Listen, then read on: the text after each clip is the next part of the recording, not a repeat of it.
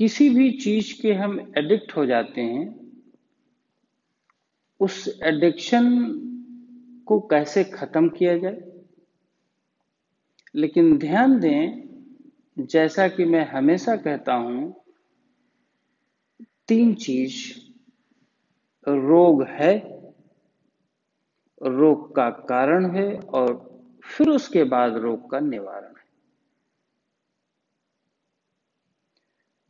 अगर ये तीन प्रोसेस से कोई भी व्यक्ति नहीं गुजरता तो वो अपने रोग, वो अपनी समस्याओं का निदान नहीं कर सकता।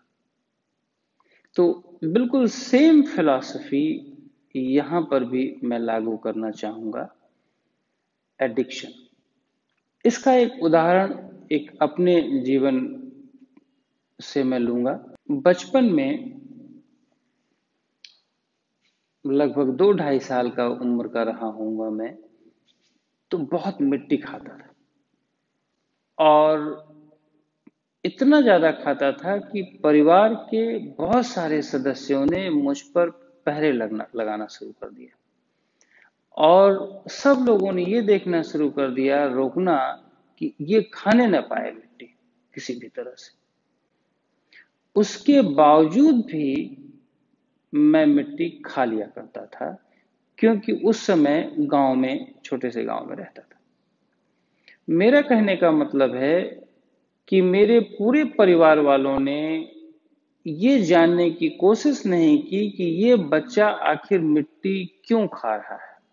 उस बच्चे के बारे में कि मिट्टी क्यों खा रहा है, ये जानने की कोशिश बिल्कुल नहीं की गई। उसे रोकने की कोशिश की गई कि ये एडिक्ट हो गया है उस मिट्टी का और उसे रोक दिया जाए।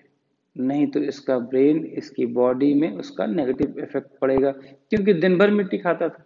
अगर मैं देखूँ, उस समय यदि ये जान लिया गया होता कि इस मिट्टी खाने का क्या कारण है और उस कारण का निवारण कर दिया गया होता तो मैं मिट्टी खाना बंद कर देता। लेकिन ये जानने की कोशिश नहीं की गई। ब्रेन को बिल्कुल रोकने की कोशिश की गई कि ये मिट्टी ना खाने पाए। चार छह लोगों को लगा दिया गया आसपास, फिर भी नहीं रोक पाए।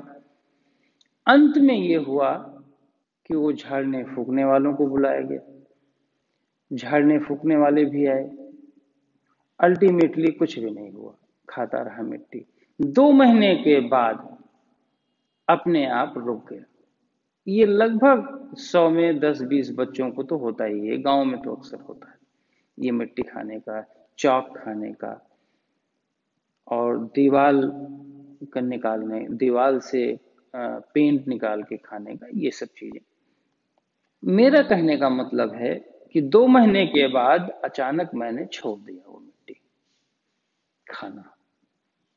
वो इसलिए क्योंकि जो चीज़ मिट्टी से खाने से मिल रही थी, वो फुलफिल हो गई। उसके बाद ब्रेन को नीड नहीं थी। ब्रेन ने नहीं मांगा। ब्रेन दबाव नहीं देता था। मेरा कहने का मतलब है कि मेरे बॉडी में कैल्शियम कम था। उस ब्रेन को ये पता था कि उस मिट्टी में ही कैल्शियम है, क्योंकि उसे खाना नहीं दिखता था। खाने में कैल्शियम मिलता तो मिट्टी ना खाता। पर खाने में प्रॉपर कैल्शियम नहीं था तो वो मिट्टी को ढूंढ ढूंढ के खाता था। मिट्टी को, चौक को खाता था। ब्रेन इतना पावरफुल होता है कि ब्रेन को अगर डिफिशियंसी किसी चीज़ की हुई तो वो आपको बाई फोर्स आपकी सेंसेस को फोर्सफुली दबाव दे देगा और खाने पे मजबूर कर देगा इधर उधर की चीज़ें, जहाँ पे कैल्शियम है, जहाँ पे वो चीज़ की डिफिशियंसी है और जहाँ पे उसको मिल सकता है। और जब पूरा हो जाएगा तो खत्म कर देगा। दो महीने के बाद वो मिट्टी खाना बंद हो गया। मेरा कहने का अर्थ है कि जिस बच्चे को ये कहा गया था कि ये एडिक्ट हो जाएगा, वो एडिक्ट हुआ नहीं। हमारा ब्रेन केवल एनर्जी का, ऊर्जा का भूखा है। अगर आप इस ब्रेन को इधर से एनर्जी पॉजिटिव साइड से मिल रही है तो ठीक है, अगर उस साइड से नहीं दोगे तो वो एक दूसरी साइड को ढूंढेगा। अगर जूस और पानी से ऊर्जा उसको नहीं मिल रही है तो वो दूसरी साइड चला जाएगा, दूसरे लिक्विड की साइड जाएगा, दूसरे ड्रग का साइड जाएगा। उसको ऊर्जा चाहिए, उसको ऊर्जा से मतलब है। उसके ऊपर जितना बर्डन डालोगे, उतना उसको ज़्यादा ऊर्जा चाहिए। क्योंकि बर्डन डालने पर वो कमज़ोरी फील करेगा। कमज़ोरी फील करेगा तो वो रिलैक्सेशन चाहेगा और ऊर्जा के बाद ही वो रिलैक्सेशन होगी इसीलिए सौ में निन्यानवे लोग जो दिन भर काम करते हैं हाइपर होकर के, बहुत हाइपर होकर के काम करते हैं, वो रात में जब घर पहुँचते हैं तो उनको दो तीन चीज़ें करनी पड़ती हैं। सामान्य भोजन से ब्रेन ऊर्जा नहीं निकाल पाता एक्सट्रैक्ट नहीं कर पाता। तो वो क्या करते हैं कि वो ड्रिंक लेते हैं अल्कोहल लेते हैं। क्योंकि अल्कोहल में फर्मेंटेड शुगर हाई है 90 परसेंट फर्मेंटेड शुगर है, और ब्रेन जब शुगर को एक्सेस यूज़ करता है फर्मेंटेड शुगर को इवन कि नॉर्मल शुगर को भी वो नहीं कर पाएगा, क्योंकि आपने 24 घंटे में इतना उसे मारा हुआ है कि वो क्या करेगा बेचारा? तो फर्मेंटेड शुगर को जब लेता है तो वो रिलैक्सेशन फील करता है थॉट्स फ्लोट करते हैं। थॉट्स उस पर दबाव नहीं डाल पाते। और ये कई वर्षों तक चलता है। तो आप शाम को सोचते हैं कि उस अल्कोहल या कोई ड्रग लेने पर हमारा मन शांत हो जाता है एंजॉयमेंट होती है। मसल्स रिलैक्स हो जाता है ब्रेन हल्का हो जाता है। ये सब आप फील करने लगते हैं। अंततः यही होता है कि कुछ वर्षों के बाद आप अपने आप को एडिक्ट फील करने लगते हैं। लेकिन यहीं पर अगर हम इस कारण को समझ लें कि एडिक्शन का ब्रेन की एडिक्शन का कारण उसकी एनर्जी है, वो एनर्जी यहाँ से ले रहा है, हम एनर्जी के सोर्स को यदि बदल दें एनर्जी दूसरी तरफ़ से लेना शुरू कर दें तो ब्रेन को कोई रिश्तेदारी थोड़ी ना अल्कोहल से। वो यहाँ से बजाय वहाँ से लेने लगेगा। उसको सेटिस्फेक्शन चाहिए। और यदि वो सेटिस्फाइड है तो वो आपको सेटिस्फाइड किए रखेगा। नहीं तो वो आपको परेशान करेगा।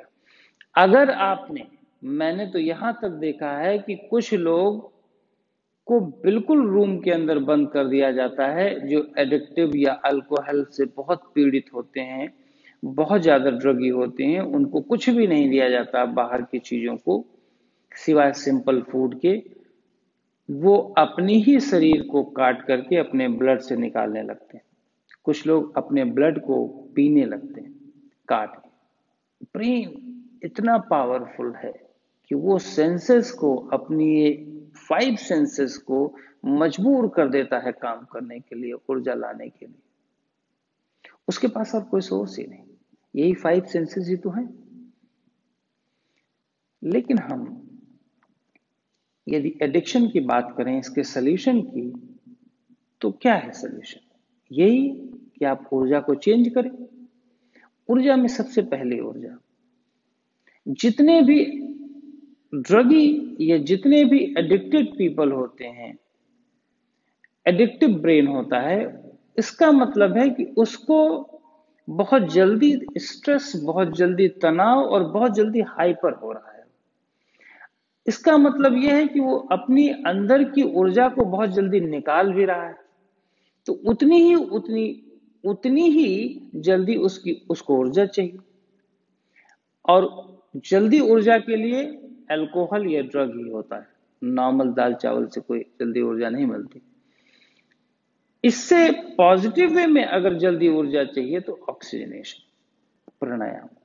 इमीडिएट बिना लिवर पर बर्डन डाले बिना किडनी पर बर्डन डाले बिना लंग बिना आ, बिना और किसी अंगों पर बर्डन डाले इमीडिएटली आप लंग्स की रिदमिक मूवमेंट से रिदमिक मैं कह रहा हूँ अनरिदमिक नहीं लंग्स की रिदमिक मूवमेंट से आप अपने मस्तिष्क को इमीडिएट ऊर्जा दे सकते हैं, शांत कर सकते हैं और वही सेम हार्मोनल सीक्रेशन करवा सकते हैं, जो एक अननेसेसरी नेगेटिव केमिकल के थ्रू आपने लिया था। तो प्रॉब्लम सॉल्व आपकी सेंसेस में कोई एडिक्शन के लक्षण नहीं है। आपके ब्रेन के सेल्स में कोई एडिक्शन के लक्षण नहीं होते। ब्रेन का सेल्स हमें ब्रेन का सेल्स एनर्जी का फूका हुआ होता है, ऊर्जा का फूका हुआ होता है।